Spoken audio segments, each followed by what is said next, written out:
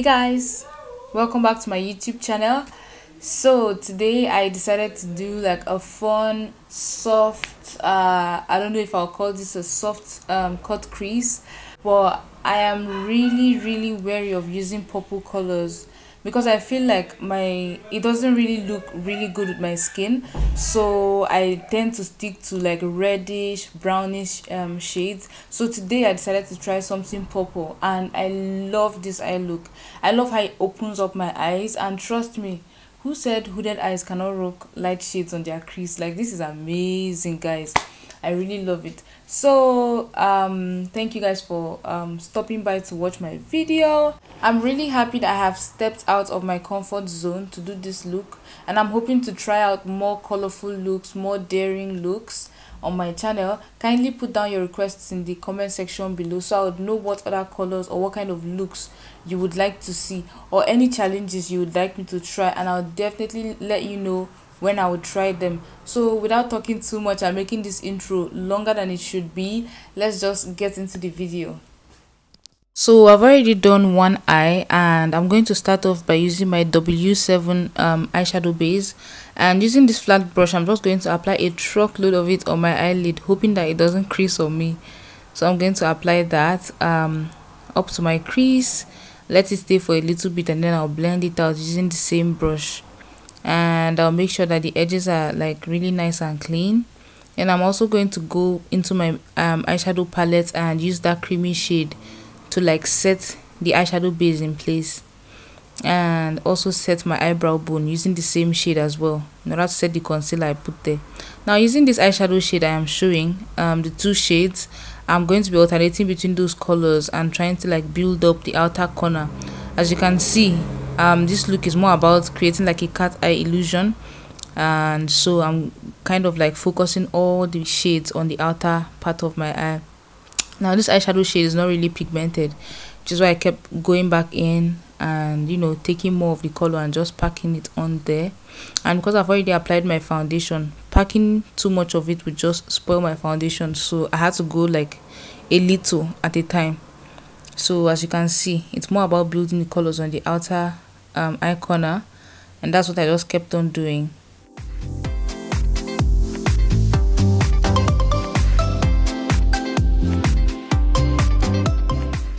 And I'm going to change my brush to this um, flat eyeshadow brush and I'm going to use it to like pack on the color. As you can see I'm tapping it not rubbing it around. I'm kind of like tapping it. This is a motion to build the colors on.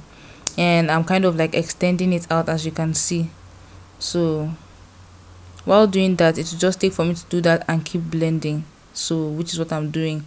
Apply and blend. If the blending brush takes out most of the color i'll just go back in with my shader brush and apply more of the purple color on it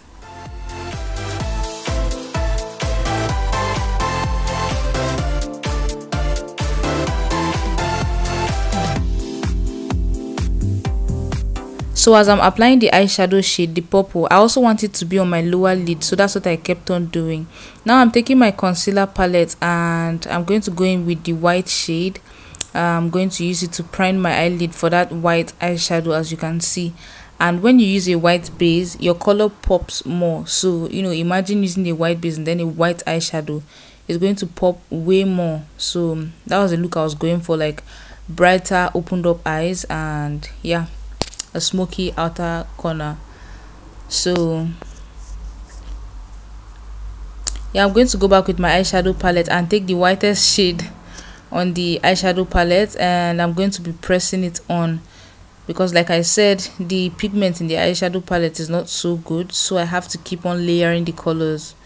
So anyways i kept going back in and in order to make the white and the purple kind of like blend into each other. I went into a lighter purple and i tried to blend it into the white. You would see that i'll keep going back in and blending and all of that. Because blending is key you know? Putting the eyeshadows on your eye probably will be easy but trying to make them look beautiful and seamless is the job that you have to do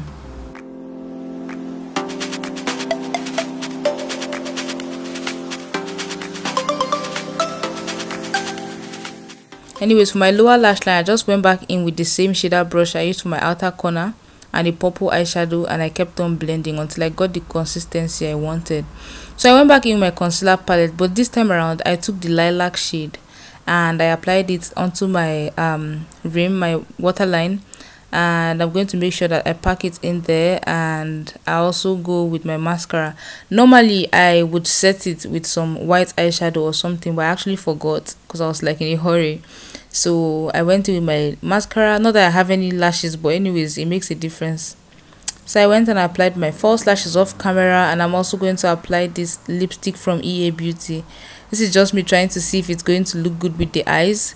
This lipstick is called miss fab and i really really loved using it. Um it, it has like it's a matte liquid lipstick but it doesn't have the dryness that makes you feel like you know your lips are going to crack or anything. So anyways i just took like a um a purple lip liner because i believe that if i apply only the pink shade it's going to make my you know my lips look very funny so anyways i just went in with the lip liner first and then i went in with the lipstick and you would see what i meant.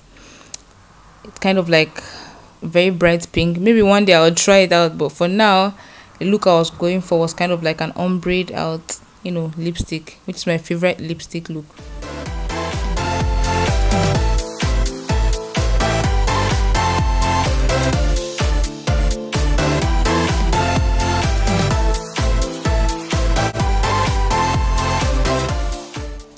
so i'm going to go back in with a lipstick brush and blend out the edges because you know we don't want any harsh lines. If you made it to the end thank you so much for sticking by.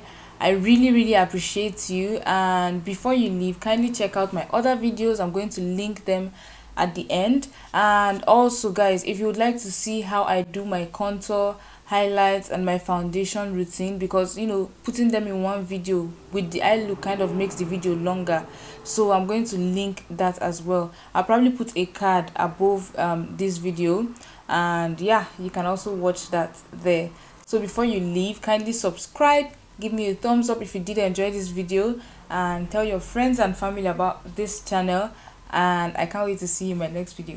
Bye